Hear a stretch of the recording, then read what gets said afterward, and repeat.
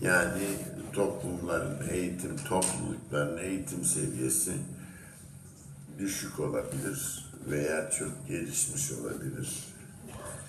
Vefakarlık veya vefasızlık gibi vasıfların bununla pek bağlı olmadığını bu olaylar gösteriyor. Maalesef Türkiye'de eğitim arttıkça, insanların eğitimi yükseldikçe nankörlükleri bazı halde nankörlüğün de ötesinde dil uzatmaları veya bence daha da kötüsü hatırayı ve anıları kendi menfaatlerine kullanır biçimde yani istismar etmeleri çok fazla rastlanmaktadır. Bu bir umumi ahlak buhranıdır. Bir tefessür, bir çürüme ve bir inkılaz, bir çöküntünün başlangıcıdır. Devam etmeyeceğini umarız. Yakın veya uzak tarihimizdeki tarihi kişiliklerin maalesef bazı halde hak ettiklerinin verilmeyişini yani onların unutuluşunu bazı ahvalde kendilerini yanlış yorumla tenkit edildiklerini bazı ahvalde de günün politikasına uygun bir biçimde şişirildiklerini ve daha kötüsü en yüksek makamlarda ve kuruluşlarda bile saptırılarak yeniden takdim edildiklerini ve toplumda doğrudan doğruya hafıza kıtlığı dolayısıyla büyük bir kriz yaratmaya yaratmak için kullanıldıklarını görüyoruz. O bakımdan mütevazi bir insan olarak yaşayan bilime katkısıyla meslektaşları arasında sağladığı sevgiyle yaşayıp giden bu dünyadan geçen demin bir arkadaşımızın belirttiği gibi devri daimin içinde dolaşan İren Melikov'un cemaatiniz tarafından tekrar ve tekrar anılması, gelecek nesillere adeta unutturulmamak için ortaya konmasını ben sağlıklı ve asil bir davranış olarak görüyorum. İrem Melikov İrem Melikov tam ihtilal yılının çocuğudur. Yani 1917'de ortalık dünya çalkalanırken 20. yüzyılın dünyası Birinci Cihan Savaşı'nın sonu birbirine dünyayı geçirirken hem de ihtilalin merkezinde St. Petersburg'da doğmuştur. O andaki adıyla Petrograd çünkü Rusya savaşa girdiği için şehrin adının Almanca olmasına tahammül edememiş ve Petrograd'a çekilmiş. Bu tabii onun kutsiyetinin de gitmesi demek. Çünkü Hristiyanlığın azizi St. Peter'in değil, Büyük Petro'nun, kurucu Çar Büyük Petro'nun adıyla anılmaya başlamış.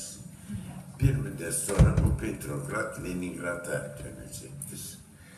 Tekrardan sonra Leningrad bir daha St. Petersburg olacaktır. İran Hanım galiba bir yaşındayken doldurduğu veya doldurmadığı bir zamanda ailesiyle birlikte Fransa'ya göç etmek zorunda kalmıştır. Bunu nereden biliyorum? Çünkü aynı yılın hemen hemen aynı ayında annem de doğdu. o yalnız ihtilalin kaynadığı kazanda değil biraz uç bölgede doğdu. Onun için birkaç sene daha eski rejimin içinde yaşadı. Onun ilk hatırladığı üç, üç buçuk yaşında çiftliklerinin yakılmasıymış Kızılordu tarafından. Ve e, bu paralelliği kuruyorum çünkü ben e, iki insan tanıdım ihtilal Rusyasını yaşayan, sonra bu dünyaya göçen. İkisinde de müşterek taraflar gördüm. Bunlardan birincisi bizimkisi göstermediği bir dindarlığa sahipti. e, yorumları vardı ona göre. Çünkü yaşadığı güç hayatı içerisinde bu yorumlar, bu duruş onun herhalde ayakta kalmasına neden olmuştu. E, vazifesine sadıktı ve ne olursa olsun işini yapardı. Ve her şeyden evvel de çocuklarına çok düşkündü. Onların hiçbir tarafına eksik kalmamasına dikkat ederdi. Ee, çok tuhaf bir şey, bir paralellik gene. Ee, meslek sahibi olmalarına, hayat mücadelesi vermelerine rağmen bu iki hatun üç tane çocuk yapmıştı. Ee, bunu tabii yukarıdaki duymasın. Bu üç çocuk yetiştirilmeleri çok önemliydi. Üç çocuğun bir tanesi oğlan grubuydu bizimki, öbür taraf kız grubuydu. Her ikisinin de kendine göre pek zahmetli olduğu bu yetiştirmenin çok açıktır. Bize sonradan bir dördüncüsü geldi, bir kız. O galiba e, kendine nevi şahsına bir münhasır bir doktor hanım oldu. Zannediyorum ileride bir biyografiyi o yazacak. Bu iki hatunun da başlıca vazifesi çocuklarına geldikleri ve bulundukları dünyayı çok iyi tanıtmak ve sevdirmek oldu. E, İkisi de çocuklarına e, Rusça öğretmeye gayret ettiler. Tabii İren Hanım çok daha başarılı oldu. Biz o kadar başarılı olmadık oğlan grubu.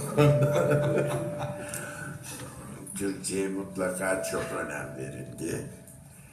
Ve mutlaka bir yabancı dil daha öğretildi. Çünkü o ikincisinden hiçbir yabancı dil sayılmıyordu.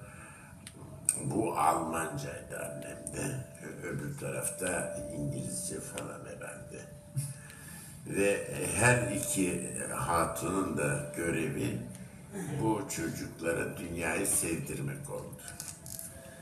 Ee, İlhan Hanım daha solcuydu. Annemin o kadar olduğunu zannetmiyorum. Fakat hiçbir zaman ön yargısı olmadı. Gramer anlatırken bile komünist rejimi tenkit ettiği halde en sevgili talebesinin Ataol Behram olduğunu size söylemeliyim.